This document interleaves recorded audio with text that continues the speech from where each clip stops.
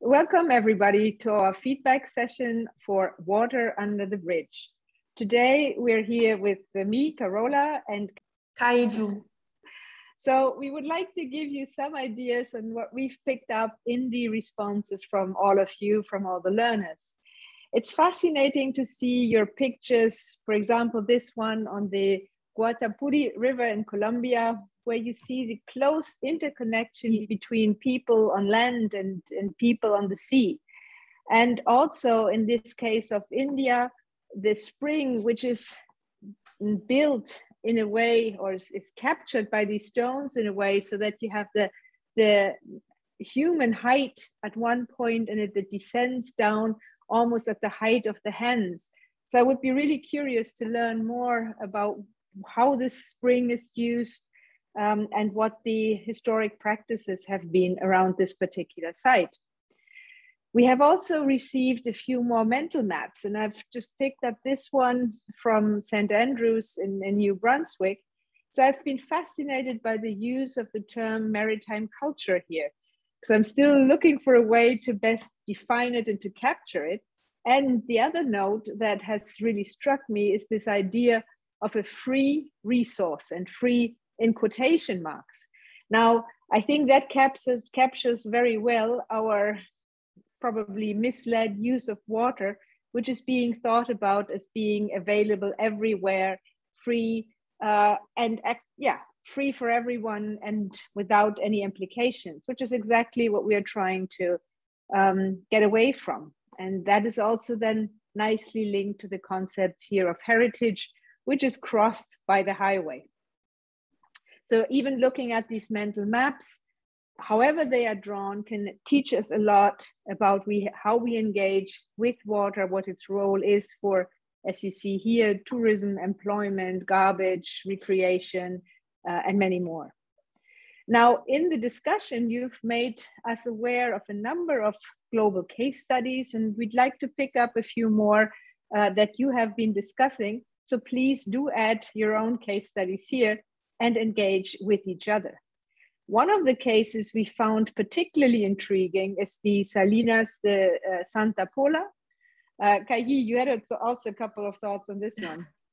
Yeah, we found it we found it's interesting that there is a blurred boundaries between regional case and a global case because of the mentioned uh, salt trade in this area.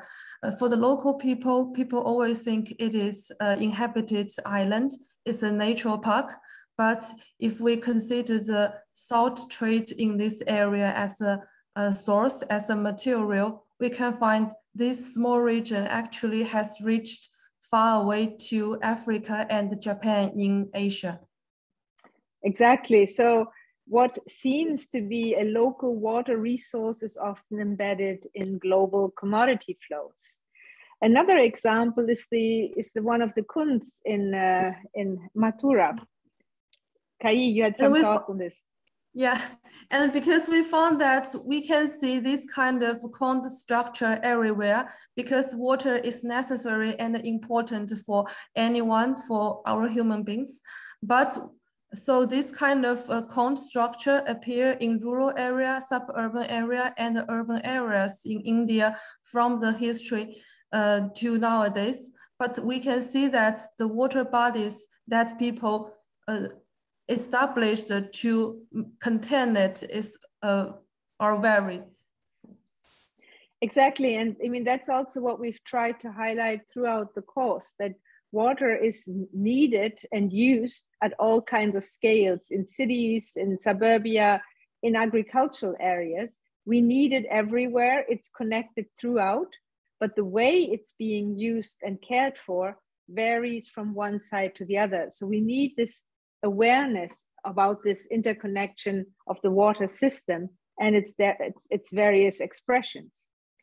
Now, the timelines that we've been seeing or the changes over time are, I think, particularly well captured in the, these images from St. Andrews where on the left we see a historic image of landing fish where people are right at the edge of the water where the boats come up to the to the shore to the shore or to the quay uh, and there's lots of back and forth and activity in this very small area today, these, this wharf keeps on changing. There are still fishing boats there, but the activities have changed quite a bit and are not, perhaps not as intense, not as linked to specific times as they used to be in the past. There are clearly, as our learner showed us, activities to think about wharf replacement. So taking into account even climate change. So how high does all this have to be lifted up to protect against uh, projected sea level rise? I'm really wondering what this means for the existing cities uh, or the existing town next to it in terms of how are we going to lift up the houses for what, five, six, seven meters? it, it's not a new story. Actually, in many places around the world, we have seen entire districts being rebuilt at a higher uh, at a higher level.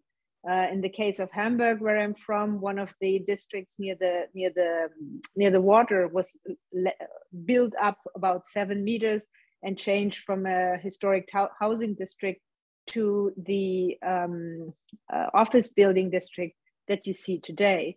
So it would be interesting to see how other places around the world imagine the future.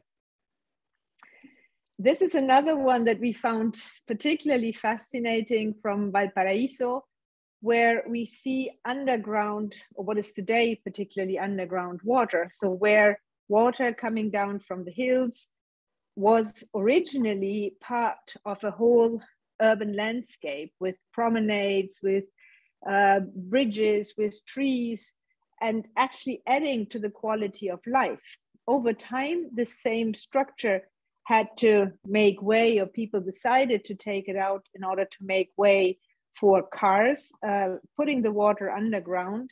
And the contemporary images then shows no trees, no water, and a place mainly for, uh, for cars and itinerant fairs, as the learner um, tells us. Similar examples can be seen also in the case of Bergen, uh, where the learner showed us here the pipelines coming down from the mountains with the problem that the pipelines are apparently no longer quite at the right scale, uh, maybe also a fact of uh, climate change, and which means that the, that the water sometimes uh, mixes up with the sewage water, creating all kinds of environmental problems, particularly for the fjords. So this is just to say that the complexity of water system and sea level change can happen on all kinds of level. We can talk about rivers, we can talk about seas, we talk about rainwater. So we are very curious to see how the historic situations in your place have evolved over time and what contemporary challenges mean for these locations. So we look forward to seeing you again next week um, and to talk about the next implications and the next stages of Waterworks. Thanks and goodbye. Bye bye.